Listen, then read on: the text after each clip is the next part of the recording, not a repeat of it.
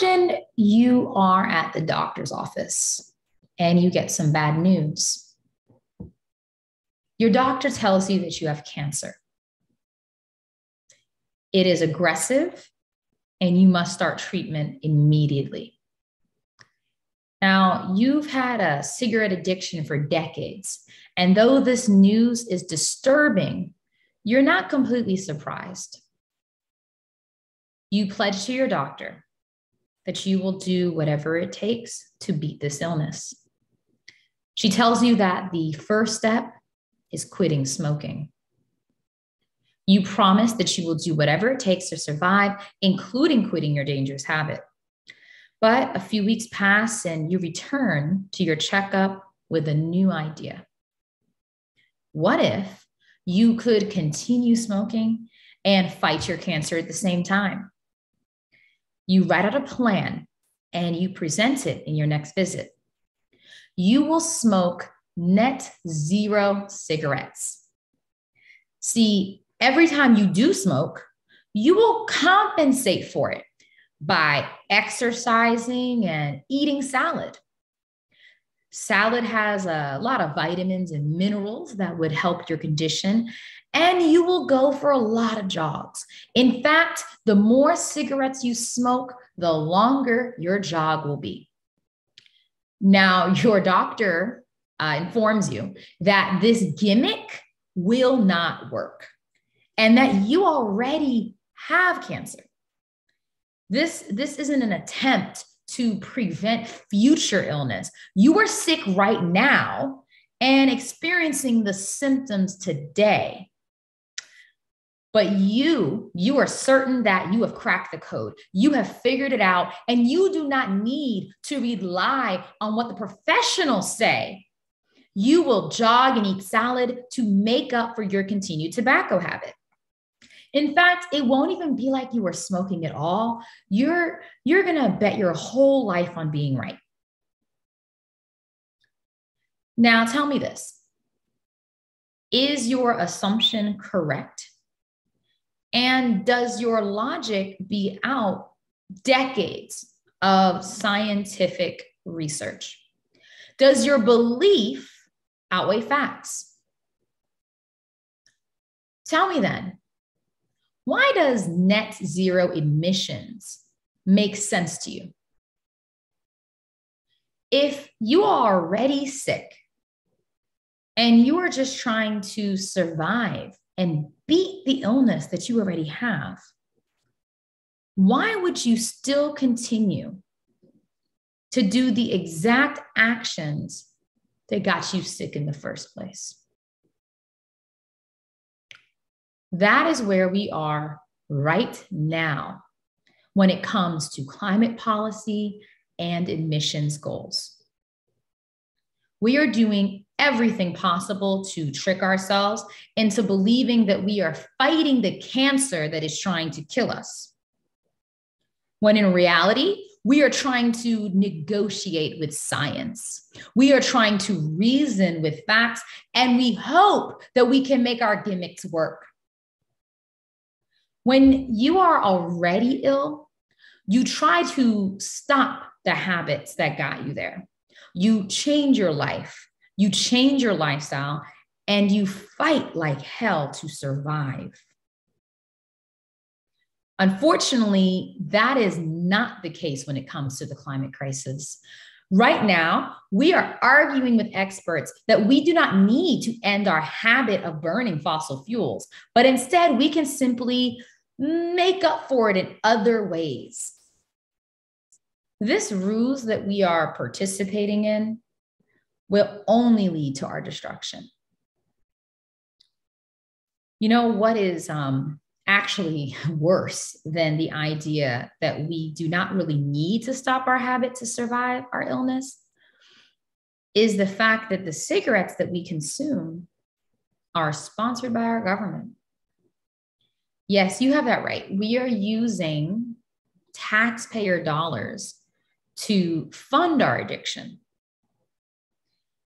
As published in The Guardian uh, this past October, the IMF found the production and burning of coal, oil, and gas was subsidized, this is globally, by $5.9 trillion in 2020.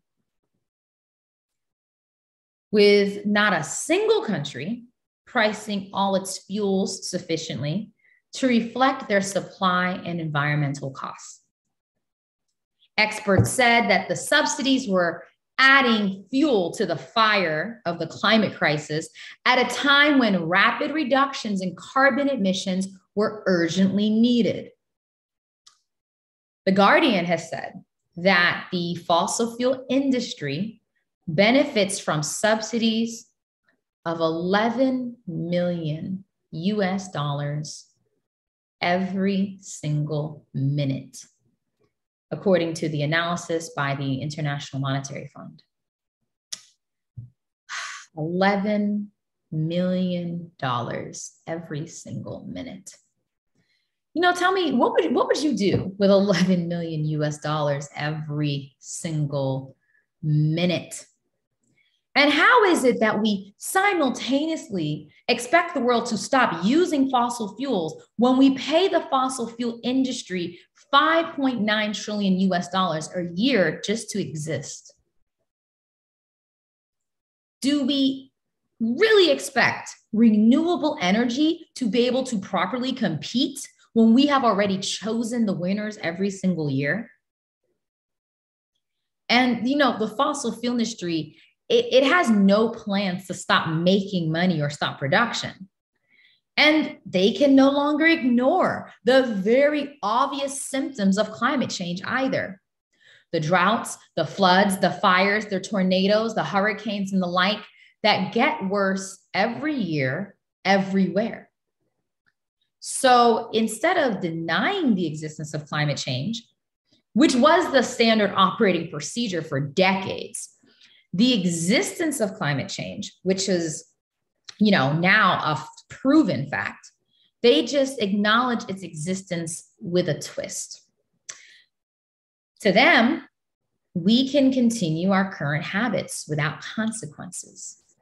All we have to do is make up for our current carbon emissions by doing something else that is positive. There's, there's no need to actually stop polluting we only need to do other tasks, such as planting trees or buying economic offsets to remediate the damage. You know, we will even invent some technologies that don't actually currently exist to capture our pollution and build a series of pipelines and tunnels underground to magically and permanently store it for all time. All of this, according to our theory, will be cheaper, more efficient, and more effective than actually transitioning off of fossil fuels and onto renewable energy. Now, don't mind the fact that we are already at the point of having equivalent of stage three cancer with no signs of improvement we will get healthy by continuing to smoke as long as we exercise along the way to make up for it.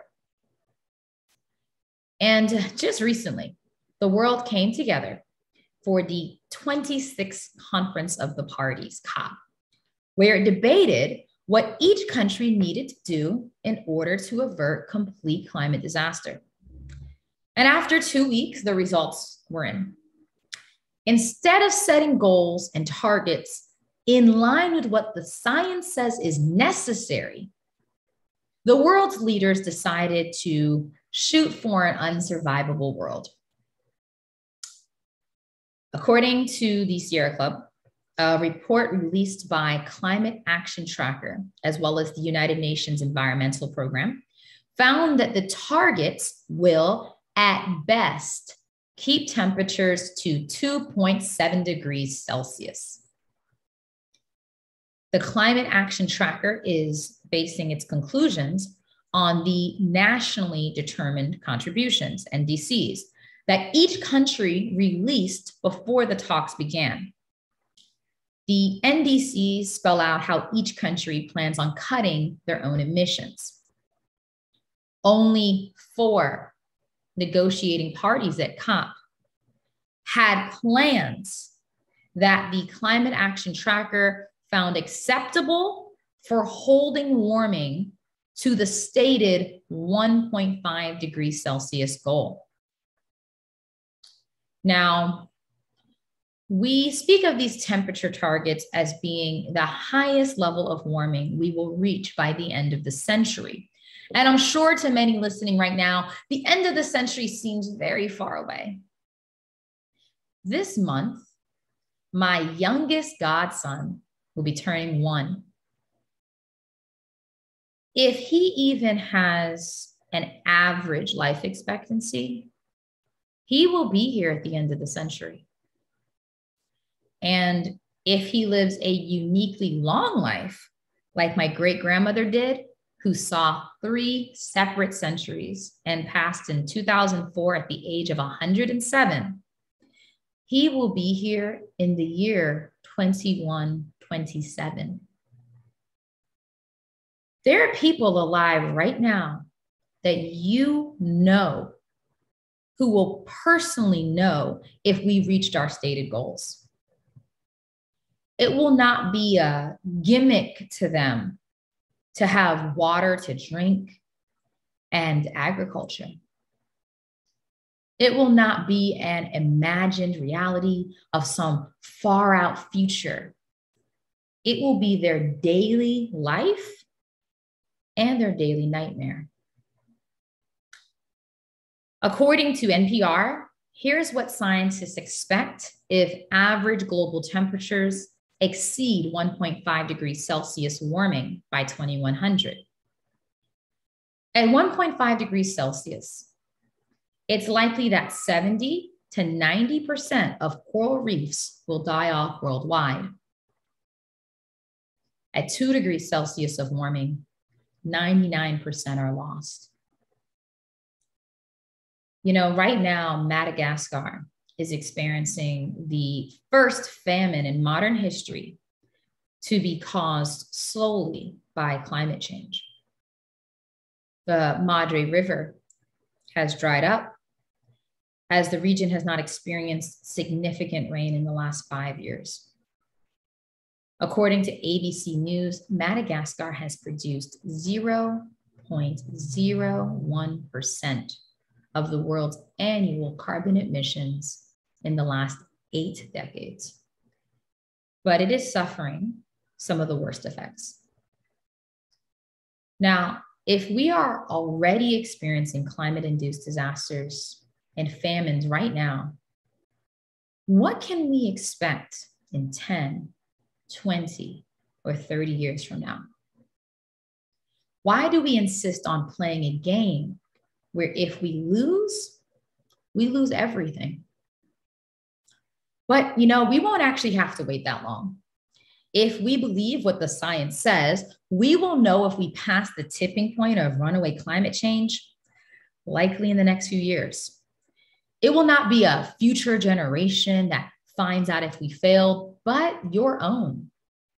Being alive right now as the last generation capable of making the difference that will determine the fate of all generations going forward is a weight we all must bear.